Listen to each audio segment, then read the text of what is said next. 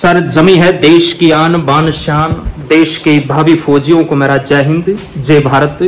जितने भी देश के भावी फौजी जिनका सपना है फौजी बनकर सरहद की सुरक्षा करना, आप सभी के एग्ज़ाम के लिए स्पेशल आर्मी एग्ज़ाम की तैयारी जितने भी देश के लाडले कर रहे हैं, आप सभी के लिए नया डिजिटल स्टूडियो सेटअप हो रहा है और जब आपका सिलेक्शन हो जाएगा फाइनल मेरिट में आपका सिलेक्शन हो जाएगा कितनी शिद्दत से मेहनत करने के बाद आप उस मुकाम तक पहुँचे, आपके इंटरव्यू वगैरह भी यहाँ पर चलेंगे। तो अभी बहुत सारा सामान है यहाँ पर इधर उधर रखा हुआ है, आप देख सकते हैं।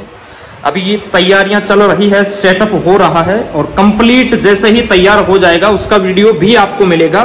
दो दिन आपकी क्लासें ऑफ़ रखी गई है तो किसी भी देश के भावी फौजी को परेशान नहीं होना है। कंप्लीट अभी फर्नीचर वगैरह का काम चल रहा है। आप देख सकते हैं और ये किचन होगा और यहाँ पर बैठने की भी व्यवस्था रहेगी और ये होगा अपना स्टूडियो, यहाँ से लाइव क्लासेस वगैरह चलेगी।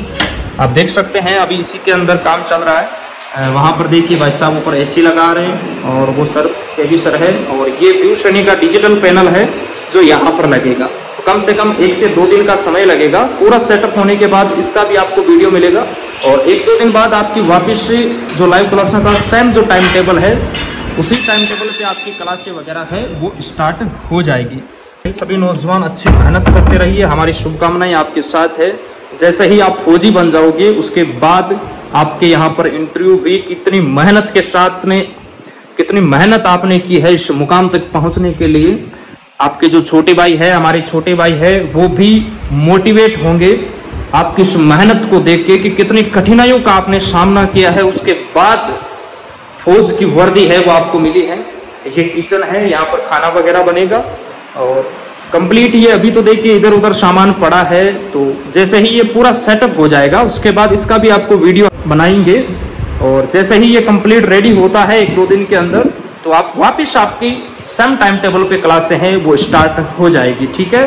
तो जितने भी देश के भावी फौजी है, सिर्फ़ इतना ही कहना चाहेंगे कि सोचने से कहा मिलते हैं, तमन्नाओं के शहर चलना भी ज़रूरी है, मंजिल को पाने के लिए। जय हिंद। जय भारत।